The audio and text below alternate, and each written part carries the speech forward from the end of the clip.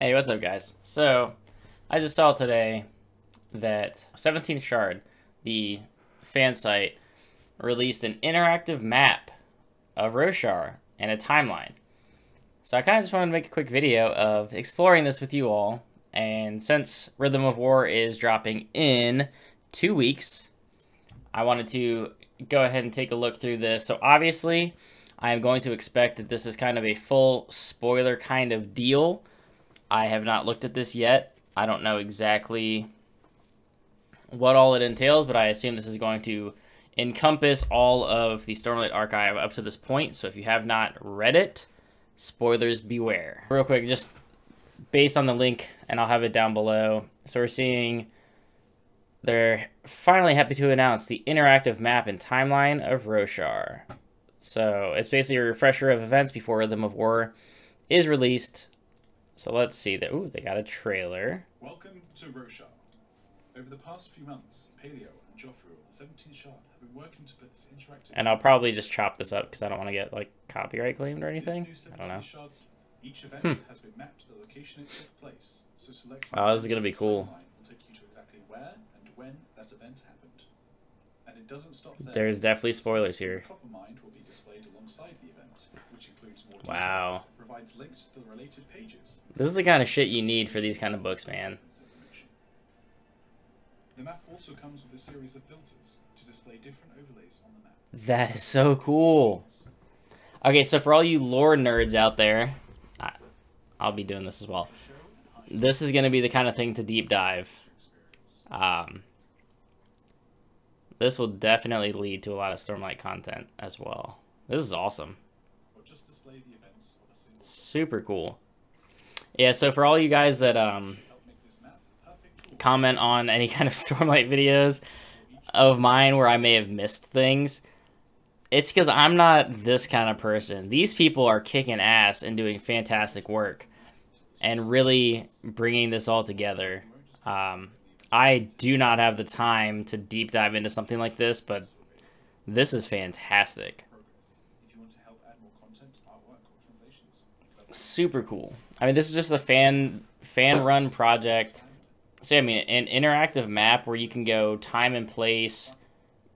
You know, select characters where you know who is where during these books. That's super cool.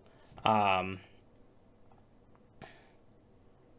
like everything's labeled, detailed timelines. It's wow. It's like it's got the Coppermind incorporated directly into the map.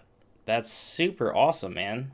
Um, and this is constantly going to be updated. So here is the actual map with, of course, the new symbol. So we've got the map here. So up to the end of Oathbringer, obviously. So it doesn't sound like they have Rhythm of War stuff in here yet, which is probably a good... I don't know if they're going to be adding it before the book actually comes out, since we're up to 17 chapters now in the yeah, 17 chapters are available right now to read. Which yes, I'm on chapter 14 of Rhythm of War because I'm doing the audible narration for it. So we got the, the whole map of Roshar here. So let's go all the way back. Let's just see. Roshar's creation. So you click on, you know, the little point in the map. It says, you know, 20,000 years previously talking, you know, here's artwork provided by the artist, the Coppermind excerpt, more on the Coppermind.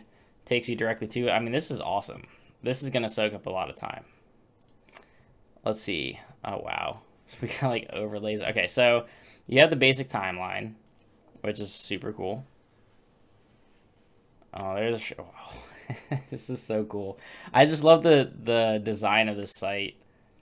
Um, obviously this is all like lore and stuff right here. This isn't even to the the first desolation. This is you know all pre book one.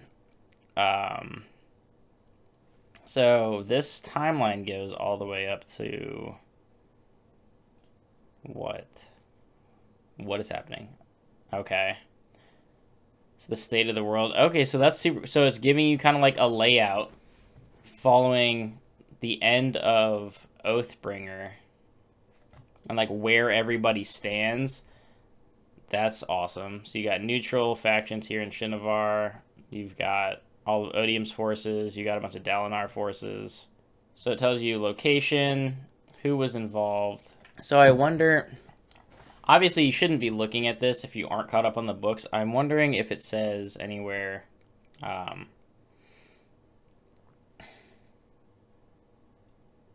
like yeah so we saw that uh, like it's obviously through the end of oathbringer right but i'm wondering yeah the battle of Thaylen Field that's the battle i was talking about in my oathbringer review this is like the infinity war battle that happened so cool. Um but i wonder it, it doesn't seem to say like which book this is obviously the timeline is you know sequential order but so like if if you didn't know for some reason that this like which book this happened in i don't see any kind of like excerpt saying okay never mind. They're smarter than me. Oathbringer right there chapter 122 they even have exactly when it happened i don't know why i expected anything else but that's in there so that's super cute so if i just click on like Azir for example let's see what happens just a little excerpt about it. Um, what if I go to like Keved? Just related locations, main, you know, characters. So we click on Shallan, you know, excerpt about her, related characters. Yeah, there's just so much work. Okay, so what I wanted to see though, so if I zoom out. Okay, so we got the whole thing. So if I click on settings, you can hide certain things or tag certain things, I guess.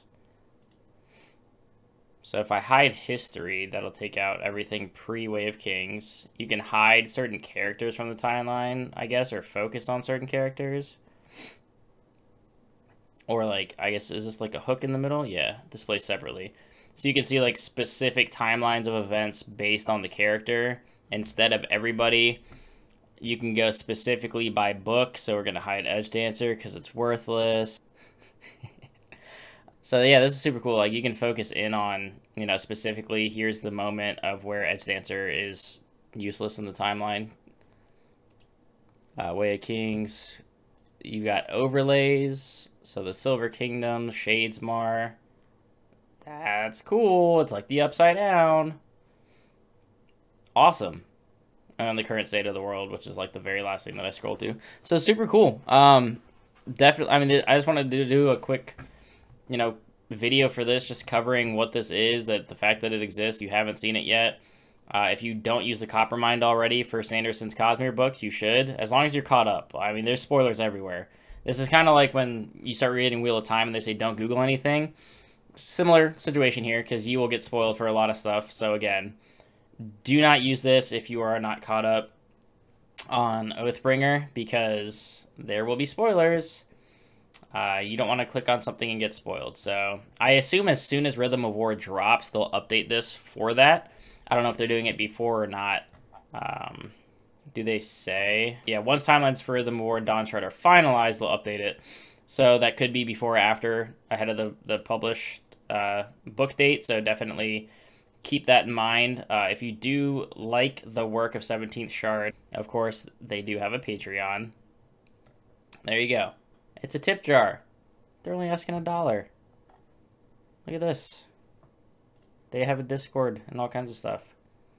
You know what? Let's go ahead and uh, become a patron live in this video because this kicks ass. And every dollar helps. So if you love Cosmere, you love this, kind of stuff. I mean, they're creating kind of crazy content. Yeah, I mean, I'll, probably up that later. But there you go. So that's a thing that exists. Super cool. Let's get this up. Let's get them to $500. Why not? There you go. Commissioning artwork for community artists. Let's go. Copper. I mean, these, these people are doing this out of the goodness of their hearts and the love for the books. You got to support this kind of stuff. So, super cool. Just wanted to share that. Hope you all enjoyed. Like and subscribe as always. There will be a lot more Cosmere and Stormlight Archive content coming up in the future. Keep an eye out for that. May or may not be with some collaborations as well. Um, join the, my Patreon if you do love the content and want to support my channel. That is, of course, always optional, but always appreciated. And hop in Discord, and we can talk more about Cosmere stuff because it's awesome. But um, until next time, guys, keep reading.